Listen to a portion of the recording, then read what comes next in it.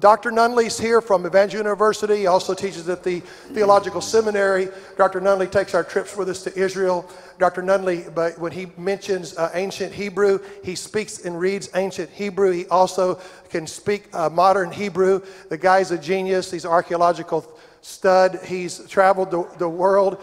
Uh, he's pretty amazing, and now he's going to be humble before you as he comes. Come on up here, Dr. Wave Nunnally. Come on, give him a good welcome. Can't go that high. Good morning, New Hope. It is so good to be back home. We live five and a half hours from here in Springfield, but uh, we're kind of like a, an old shoe that the dog keeps dragging back home. Throw it away and it keeps coming back. But I am so thankful for the opportunity to spend time with you guys a couple of times a year. Appreciate Pastor Jeff, uh, uh, the rest of the uh, pastoral staff, Pastor Weaver, Pastor Austin, who's not able to be with us uh, today, and all the other guys, Brett, everybody. They're a wonderful team to work with, and you guys are just an incredible group to be able to share with. And so um, I'm grateful. My heart is full. Um, this is like the best, it's like Christmas, Thanksgiving, July the 4th, and my birthday all rolled into one. Yeah, great to be with you all. If you guys could uh, put the uh, slides up on the screen. Um, when I'm in Israel, and I am there often, between two and six groups every year, uh, probably as I head toward retirement, we'll be doing even more and not less. But um, uh, after we're into the, uh, the, the trip, about three or four days, there's a question that, that comes up with almost every group. We have gone by this time to multiple, multiple places every day and we're reading the Bible in light of the physical reality that we're encountering in the land of Israel. And so, uh, after looking at archaeology, after looking at geography, after looking at all of the uh, kinds of artifacts in museums and that sort of thing, studying the Bible on location, in context, on site, people will inevitably ask the question well, you know, I, as I've been here, and I've let my roots of my faith grow down deep in this fertile soil of reality, of, of, of tangible, verifiable, you know, objective stuff that you can see that corroborates or confirms the testimony of Scripture. Well, I feel like I'm cheating a little bit, like there's something that's not exactly right on, on, on, along this line because I thought that faith was supposed to be something ethereal, something that was still out in the future, something that could not be seen. And so I wanted to bring this message to you. I wrote an article, you can advance it to the next slide um, Faith and Evidence. Is it possible that they're just constantly enemies of one another, or do they cooperate and are they actually allies? Does one support the other? Do we have to choose between the one or the other, or can we have the full meal deal? Just like with the food, I like the full meal deal. Don't you like to get a good deal? I think I'm going to try, I'm going to see if what I can do to give you a twofer this morning. Next slide. Feel free to, we'll be posting this at the um, website, this, the church's website, so you can go to that, uh, that link and read the, the full article. But I just wanted to share with you kind of a summation of it this morning. In the scriptures, um, this is often when this subject comes up and we're studying on site, people will, will cite Matthew 18, Hebrews 11, and Romans 8 in asking that question. Are, are, we not like some kind of way cheapening our faith or doing something we shouldn't be doing or engaged in some learning activity process or whatever that, that, that, that maybe lowers the bar? I'd like to address that this morning. Matthew 18, Jesus calls a little child and puts the child in the midst of the people he's teaching, and he says, Unless you become converted and become like a child, then you can't enter the kingdom. So, does that mean simplistic in our thinking? Does that mean less educated than we should be about the things in the world that we have access to? Does it, does it mean that our faith should remain in some kind of a um, a, uh, a suspended state of childlikeness. That's certainly where we come to Jesus, but is, is that where we're supposed to remain? Next text. And then Jesus, uh, uh, Jesus with the child, the famous picture. Next. In Hebrews 11, faith is the assurance of things that are hoped for, the conviction of things not seen. So when we do have objective reality in front, of us, is there some kind of a problem with that? We have some sort of existential problem uh, between that which we're supposed to believe and that which can actually be seen with our eyes. Also, in Romans chapter 8, for in hope we have been saved, but hope that is seen is not hope. For why does one also hope? For what he sees. These are questions, passages that are in people's minds as we go from place to place and see the Bible's message verified over and over in lots of different ways. So let's respond first to those three passages Matthew 18, Hebrews 11, and Romans 8. Next. In Matthew 18, verse 4, which comes right after verse 3, I'm sure you probably did the math on that already passed the first test. Jesus says, he continues to talk about this child that he's placed in the middle of them.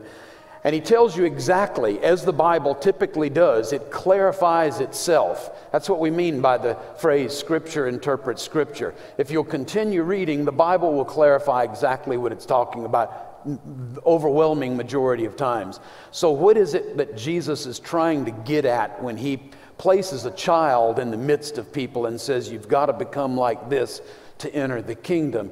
He's not referring to childlikeness, he's not referring to simplicity, he's referring to whoever then humbles, humbles himself as this child. He's the greatest in the kingdom. He's referring to childlike humility and not those other things. Similarly with Hebrews chapter 11. Next when, he's, when it says in Hebrews 11 that it's the evidence of things not seen, he, he continues through the whole passage. All these died in this biblical faith, this biblical trust in God, without receiving the promises, but seeing them, uh, but having seen them and welcomed them from a distance, confessed that they were strangers and exiles on the earth.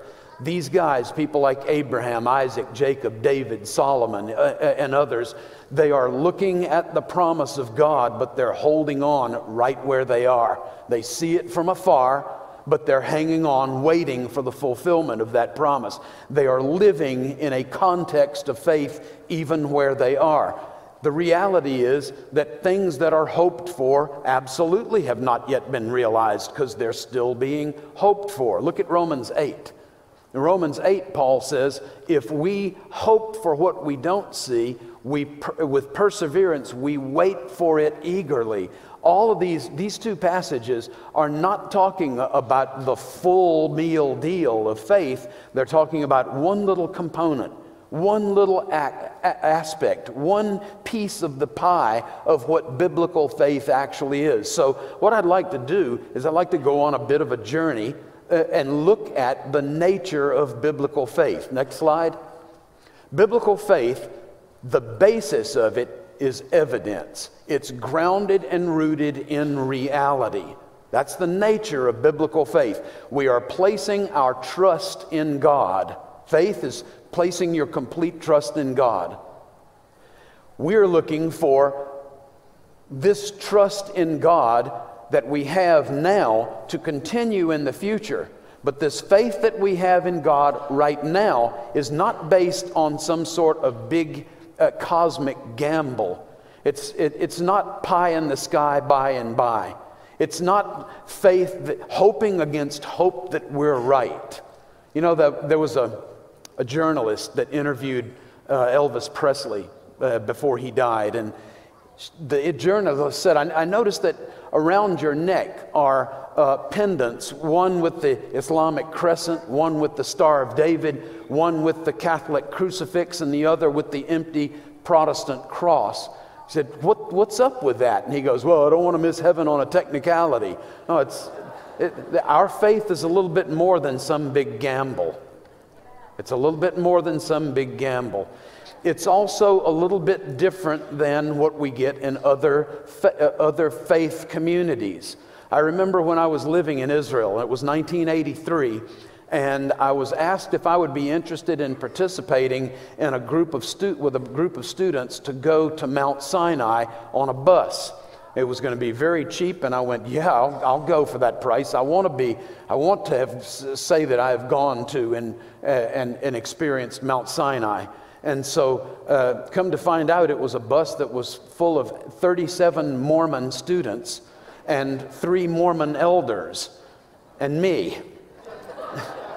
and so, one of the ways that it was so cheap was that instead of staying in a hotel halfway to Mount Sinai, we camped out on the beach of the, of the Red Sea. Uh, and so, right before we all bedded down and went to sleep for the night, sleeping right there on the sand, uh, a Mormon, el- one of the, one of the uh, Mormon elders waded out about knee deep into the uh, water of the Red Sea, and he gave us a little evening devotional, kind of a Vespers service of sorts. And he took the opportunity because we actually were there. He said, Now I'm told that on the other side of the Red Sea from where we are, there's an oasis. And at that oasis, that are, there are really large palm trees. According to the Book of Mormon, uh, when our spiritual forefathers migrated to that spot, they hewed those palm trees down, lashed them together, made gigantic rafts, and there migrated to the Americas. And he said, Now that is an exceptional story in the Book of Mormon because it's the only touch point with any kind of observable, tangible, scientific reality um, in the entire book. And because of that, the Mormon faith is superior to the Orthodox traditional Christian faith because they have evidence for what they believe, and we don't have any evidence for what we believe. And I thought, uh, wait a minute, if you don't stop talking, my head's going to explode here. Um, but the, the point is this I ask myself after that, but how many Christians believe that same way about their faith?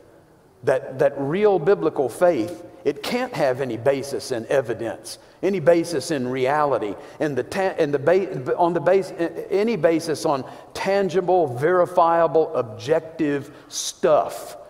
And I think that that is where much of the body of Christ is stuck on this matter of faith. So that's why I want to look at the fact that there are multiple aspects or characteristics, facets to this thing that we call faith or placing our trust in God. So let's do that. Moses at the burning bush. We're going to look at one example from the Old Testament, one example from the New Testament. Fair enough? Um, when Moses is at the burning bush, he encounters God and God speaks to him, and it appears like it's for the first time. And this is what God says. By the way, this is interestingly without plans uh, because they didn't know what I was going to teach and I didn't know what they were going to sing. We sang that song, He's the Great I Am. Take a look at this passage in Exodus chapter 3. Moses said to God, Behold, I'm going to the sons of Israel, and I will say to them, The God of your fathers has sent me. So they might say to me, What is his name? What is his name? And God said to Moses, I am who I am. Like, okay, well, that and $5 is going to get you Starbucks, right? The world does that mean? What in the world? I am who I am. So notice here, like we saw with Hebrews 11, like we saw with, with Matthew 18, as we saw with Romans chapter 8, you continue reading, it's, it kind of clarifies exactly what's being talked about there all communication in, in the world of, of, of human inter, uh, interaction is, is exactly like that. It's about context. You've got to have context. Context clarifies the, how a certain word or phrase or even sentence, what it's, how it functions in a larger chunk of information or communication. So the next part of this verse reads So, furthermore, you know, kind of God doubles down on this. He's going to go and make another pass at it to make sure that Moses understands exactly what he's saying. And he's saying, Say to the sons of Israel, it's the same message. Tell them this. Now you say, Tell them this. Tell them that the God of your fathers, the God of Abraham, the God of Isaac, and the God of Jacob has sent me to you. This is my name, and this is my memorial name to all generations. This is what I am that I am means, guys. He's telling you what I am that I am means. He's the God of Abraham, Isaac, and Jacob. Put the two together, and this is what you get. The God who always was and now is, always will be the same. The God that your fathers, Abraham, Isaac, and Jacob, trusted, and He never let them down. He always fulfilled His promise. He always came through when they needed guidance, when they needed protection, when they needed provision. What He's saying is the God that's calling on you to come out of Egypt is a God who can fulfill His promise. He said he was going to deliver, he's going to deliver. Why is that? Because he always has delivered, he's always come through. He's the God who is true to his promise. He's the God who can be trusted. He is therefore trustworthy. He's worthy of our trust because he's earned it the old fashioned way. He's worthy of our trust because he's always kept his word. If he's calling you out of Egypt, He's saying He's going to deliver you. You better believe He's going to deliver you. So that's the kind of God that Moses introduces back into the life of the people of Israel. The God who delivers, the God who protects, the God who provides. He's the same yesterday, today, and forever. That's exactly what this text is saying. So is he appealing then here is his argument you can trust him to deliver you now because he's always done it in the past. Well, that's a faith based on the past. Yes? Next slide. Let's look at another passage, this time from the New Testament side of our Bible. This is a picture of the empty tomb. Yes? We are a faith of the empty tomb. Yes? All right. Watch what the text, uh, the scripture says about the resurrection of Jesus in the book of Acts, it says that Jesus had, by the Holy Spirit, given orders to the apostles. And to these apostles, he presented himself alive after his suffering with many convincing proofs. Oh, okay, well, then I guess our faith, written out in Scripture by these same apostles, I guess it was proven to them that Jesus raised from the dead. It wasn't just some kind of some kind of mind, kind of mind over matter or some kind of a mental trick that they're playing on themselves. This text says that he showed up face to face with them, proving that he had been raised from the dead with many you can go ahead and say it with me if you like. Many convincing proofs. So then is is our faith in Jesus based on historical reality, verifiable reality, observed appearances post resurrection. Survey says, yeah, that's what this text is saying. So we're getting this God of reality, God of history, um, God of just think back on the way that I've been all along, and that's going to inform you how I will be today and tomorrow kind of approach, whether it's Old Testament, Moses at the burning bush, or New Testament, empty tomb and Jesus' appearances to the apostles. It's the same stuff.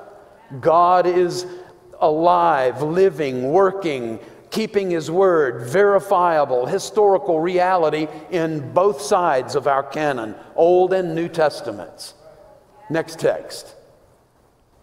So, faith then, interestingly, is not one dimensional, monofaceted. You know, it's, it, it's, it's very diverse and multifaceted, variegated. It has past aspects to it. I am the God of Abraham, Isaac, and Jacob. I am the God of the, of, of the cross and of the burial and of the empty tomb. These are past realities, right? But it, he's also the God of the present. He's not just a God who lives in libraries and historical um, works of the past. He's a God who's alive and living today as well. Tell them, I am that I am sent you. So he's a God for today, but he's not just, Paul says it like this if for this life we have, only for this life we've hoped in him, we're all men to be most pitied. There is a future reality in God as well. If this is all there is, it's almost like we've all died and gone to hell because that's a lot, a lot of times. Example, the murders in the Pittsburgh synagogue yesterday morning. There's a lot of that that goes on in this life. And I've got news for you Jesus has not come back and you got left. He hasn't come back yet. You didn't get left. And there's something even better than what we're living today. If you're living a fulfilled life, thank God for that. But that's not you've not reached the final reality either. So, whether you're going through the valley of the shadow of death or you're living on the pinnacle of the mountaintop uh, experience with God, God's promise to you is you know what? It only gets better. So, let's take a look at these three aspects of faith past, present, and future. First of all, past tense. In 1 Corinthians, we're going back to this business of the basics of Christianity, the foundation the basis is this I make known to you the gospel that I preached, which you received, in which you stand, which you are also saved if you hold fast the word that I preached to you, lest you believed in vain. But I'm preaching, to, to, I delivered to you as of first importance what I also received primary, foundational, basic importance that Christ died for our sins in accordance with the scripture. Real quick pop quiz. Our, the basis of our faith, is it present tense, future tense, or past tense? What is Paul saying here? I delivered to you as of foundational importance that what? Christ died for our sins in accordance with the scripture. Is that a current event or is that a past tense event? Past tense event. So our faith then is based on a past tense event. Is that what God was telling Moses at the burning bush? I am the God of Abraham, Isaac, and Jacob. He's saying God has acted in the past in ways that you can now trust Him in the future, in the present and the future. Yes, I'm the God of the past. I have a track record. I have a dossier. I have a portfolio. I have a resume that has touch points with reality, historical reality, where I've promised and I've came through. I promised and I came through. I took care of Abraham. I took care of Isaac. I took care of Jacob. And now that's why you can trust me to take care of you and yours. I am the God of the past. Not just the God of the past, but I'm a God who can be trusted now and in the future because of the past. It's not just a jump ball. It's not the jury's not out on everything. It's not well I'm just hoping like Elvis did that I choose the right pendant, you know. This is not multiple choice. This is a God who has called you to walk with him, who has verified, who has demonstrated that he is a God who is worthy of your trust. He is trustworthy. All right? So, Christ died for our sins according to the scriptures, but he's not done. Next.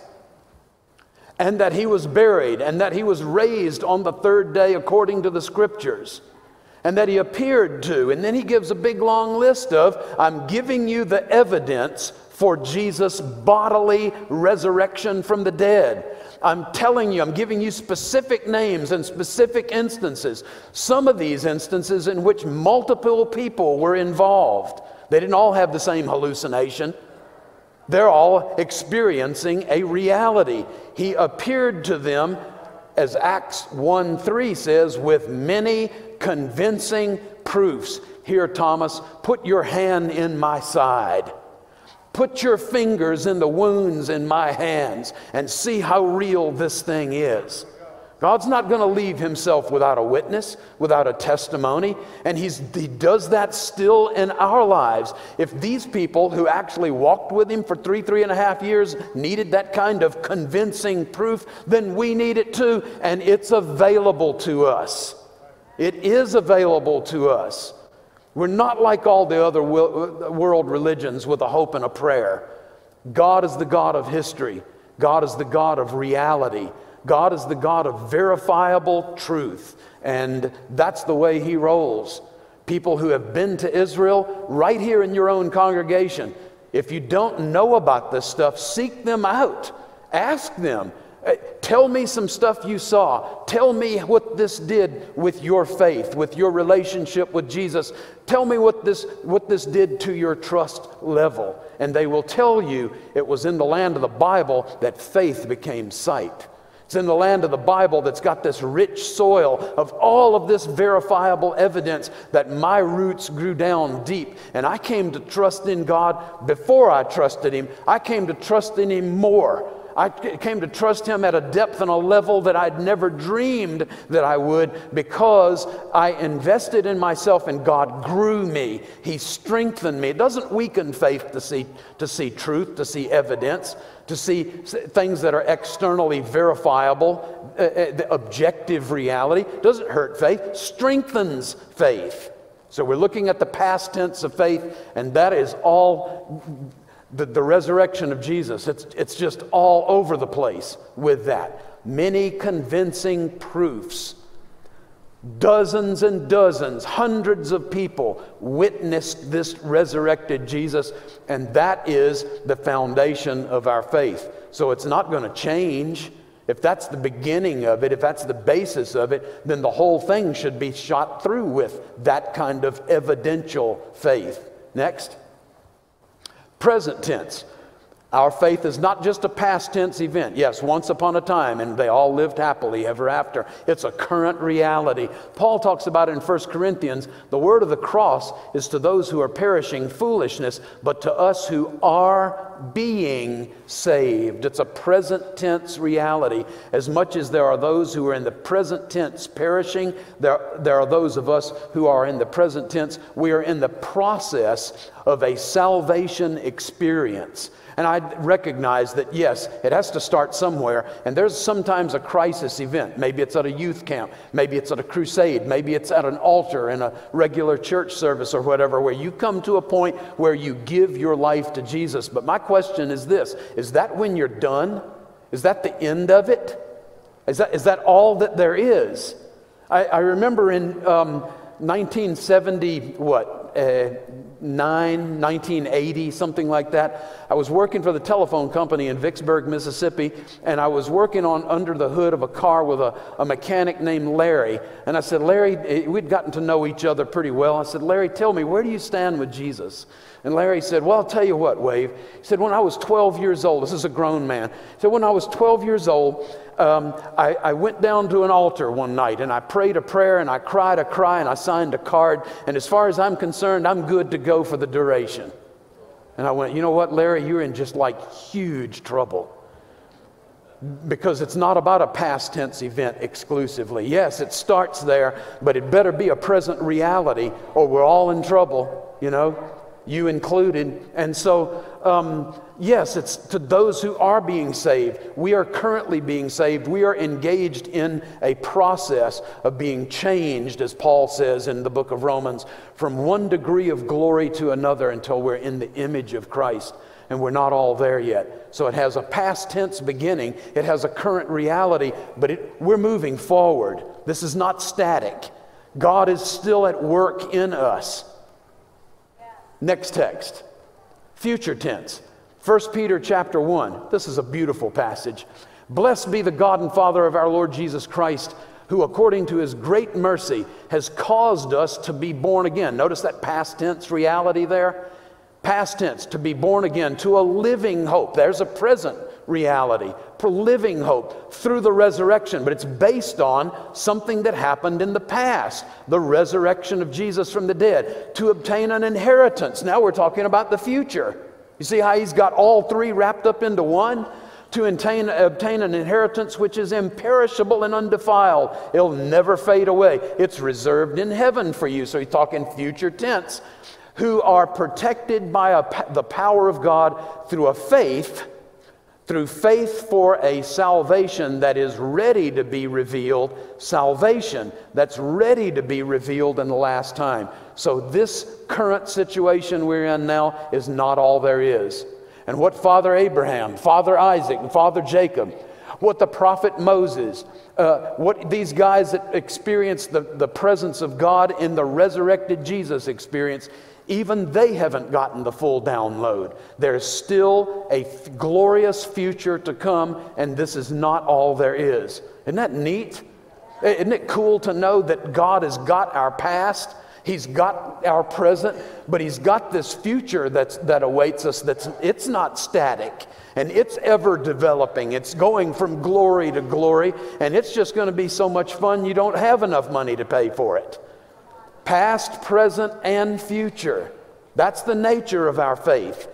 So, those passages that we looked at earlier, the Matthew chapter 18, that had a context. The, the, the, Hebrews chapter 11, that had a context. And it was saying we're, just, we're dealing with this futuristic aspect of faith. That's what Hebrews 11 is dealing. That which is hoped for is not seen. Same thing with the Romans 8 passage. Because what's seen is not, is not the future, it's not hope, is it? No, it's, it's laid up for the. So those passages, Hebrews 11, Romans 8, talking about the futuristic, yet to be seen, yet to be experienced aspect of faith. The basis of that faith, though, is that God has acted in human history. What an amazing thing. And it's demonstrable, it's observable, it's tangible, it's palpable, it's real, it's reality. Next text. So, biblical faith it's not just, relate, uh, just uh, uh, uh, relegated to one or the other. It has all of these aspects past, present, and future. And it's trust in God for the present and future based on his faithful acts in the past. Not just based on a wish and a prayer, hoping against hope. Uh, flip a coin. Maybe he's going to be faithful, maybe he's not. God has demonstrated that He is worthy of our trust by His pa- past track record of faithfulness. Next text. I wanted to show you, just to give you, uh, just whet your appetite a little bit, just a few um, examples from the Old and then from the New Testament of these tangible, historically verifiable realities of God's Word. Here we have a 23 foot wall discovered by the archaeologists from 1967 onward in the Jewish quarter of Jerusalem. And this is part of the wall that was built by King Hezekiah in the 8th century BC, 28 centuries ago. And the Bible talks about this wall. Let's take a look at the passage. It says in Isaiah 22, you saw that the breaches in the wall of the city of David were many. So you brought water into the city of Jerusalem, and you, when you're there, can walk through Hezekiah's tunnel, the very thing that Isaiah is talking about here. And you counted the houses of Jerusalem. You tore down houses to fortify the wall. Underneath that wall, sticking out on either side, you can see the foundations uh, uh, stones of um, uh, houses and can even see the different compartments, the different rooms in those houses. Where those were broken down, the wall was built over top of those homes, even using the same stones that, were, that, that comprised that home to make this new wall, to keep the Assyrians out and to keep the people of Jerusalem inside, safe from the Assyrian invasion. That's just, it's, it's reality right there in front of you. You see Isaiah 22, you look at that wall from Hezekiah's time, you look down and you see the foundations and you go, oh wow, he wasn't just kind of like eating too much pepperoni pizza the night before and had some weird dream. This is not just some kind of goofy flight of fancy on the part of the prophet. He is describing verifiable, tangible, archaeologically discovered historical reality. You tore down the walls and you made a big, uh, their houses and you made a big wall with it. There it is. It's like, okay, well, you know what? I don't even need to, to, to have faith to, to recognize that because I see it. This is the land where faith becomes sight. I see it. It's tangible reality. Okay, so then what is the point of that for faith? It's God's word can be trusted. Yeah, on this little tiny out of the way, you know, detail tucked away in Isaiah 22, you've got all of this stuff then where you can like it's almost like a video that you can see from 28 centuries ago. Yeah? It's like something off of Star Wars. You can see the reality, and then you can read, it about, read about it in your Bible, and it informs you that the God of the Bible is a God of history, a God of evidence. And that's the nature of biblical faith. Faith trust in God who verifies his trustworthiness in the past, that then informs your faith for today and tomorrow. Next. Uh, at the um, uh, in the old city of Jerusalem. This is the oldest part. It's called the city of David. Uh, and then next slide, we see that here in, in this red, uh, uh circled by the red uh, mark, there's a, an archaeological excavation going on there. I think Pastor Weaver actually experienced some of it happening in real time in 2016.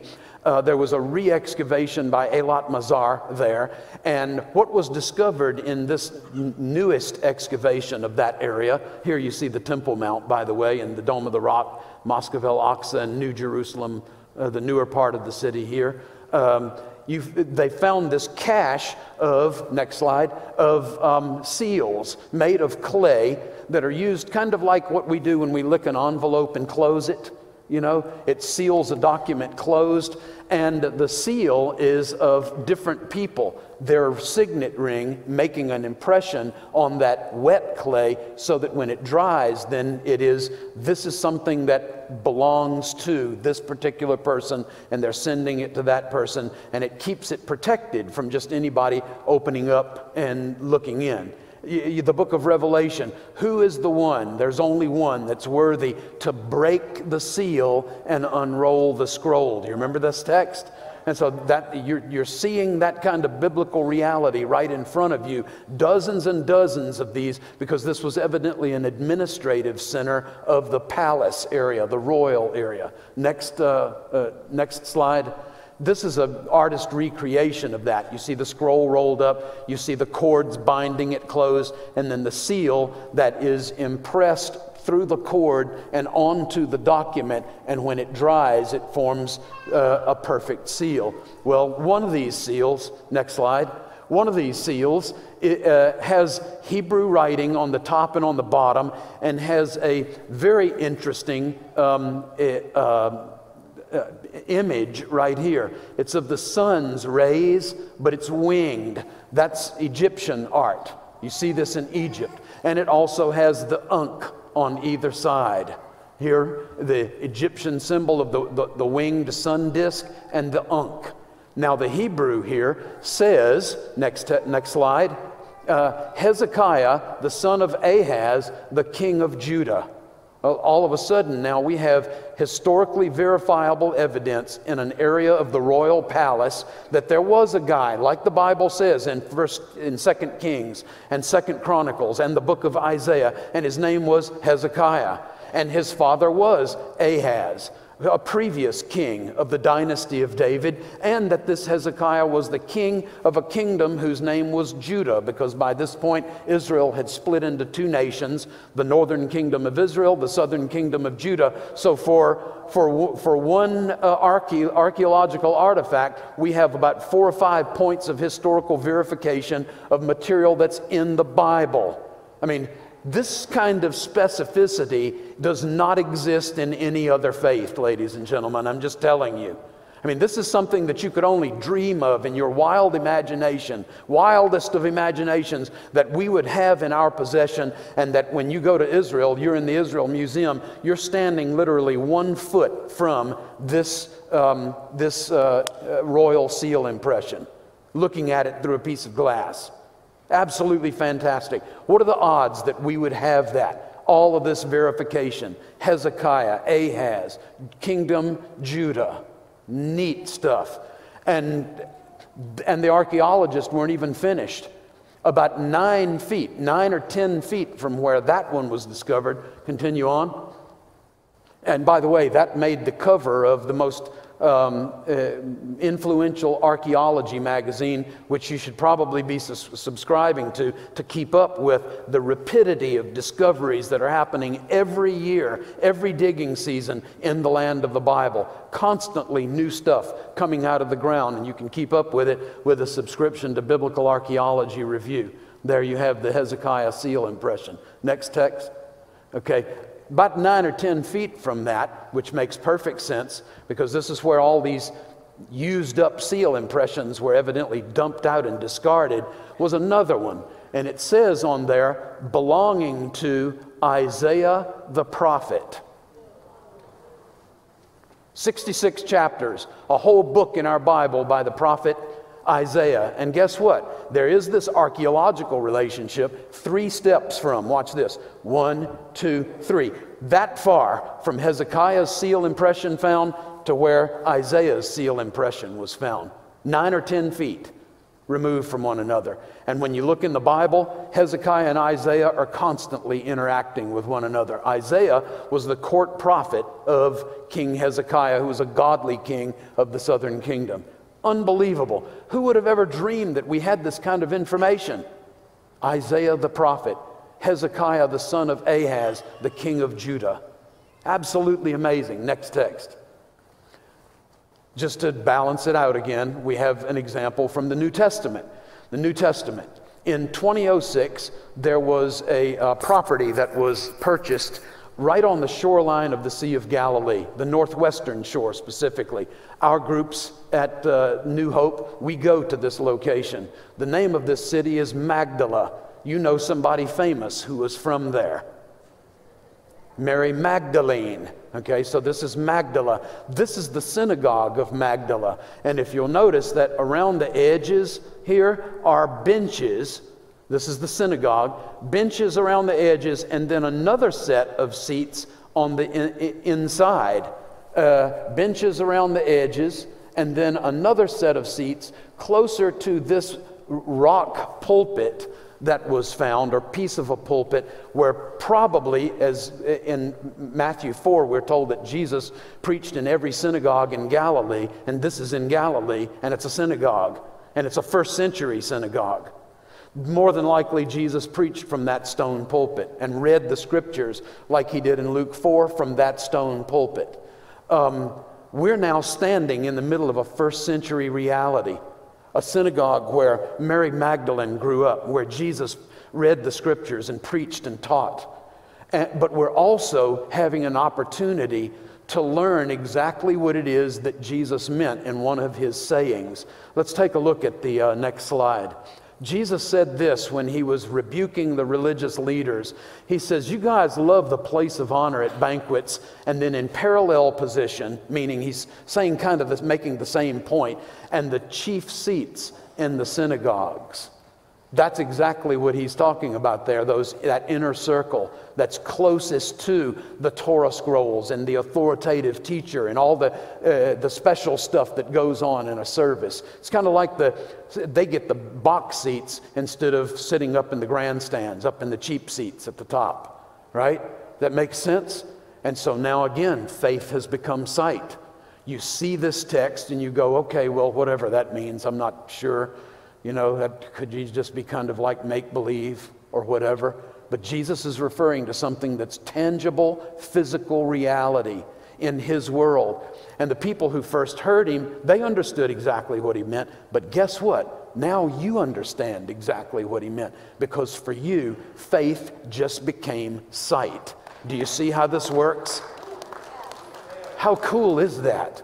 Now, I want you to just take a second, and my time is over. I want, to take, I want you to take a second with me to pray and ask God to just really grind these realities into your heart, into your life, eh, to, to, to help you, to let the, ask the Spirit to help you grind into to you this reality that I am living a current faith but it is based on the realities, the verifiable historical realities of the past And that is then informing me in my hope for the future.